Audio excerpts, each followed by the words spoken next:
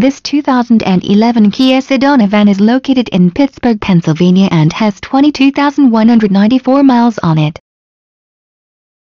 This Kia Sedona has a beautiful gray exterior paint color which is complemented by interior color. For more information on this great Kia Sedona please click the link below.